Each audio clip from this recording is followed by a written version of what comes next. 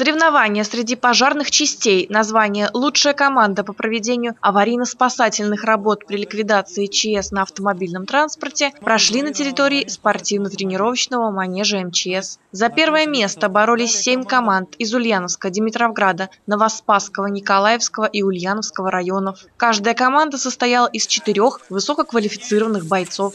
Сегодня отработать действия личного состава по оказанию помощи людям, которые попали в дорожно-транспортное происшествие, отработать навыки профессиональной подготовки по ликвидации дорожно-транспортного происшествия, также передать опыт, который необходимо нам в действиях на федеральных дорогах Ульяновской области, соответственно, способы и методы оказания спасения людей – Время для раздумий у спасателей нет. Действовать нужно быстро и слаженно. Первым делом установить под колеса авто пороги, чтобы избежать раскачивания. Затем незамедлительно обесточить транспорт и вытащить аккумулятор. Разблокировать двери, снять крышу и оказать первую помощь пострадавшим. Такие действия должен знать и уметь каждый пожарный. Любые нарушения техники безопасности наказываются штрафными очками. Побеждает команда, выполнившая все действия быстрее всех. Все участники достойно справились с заданием.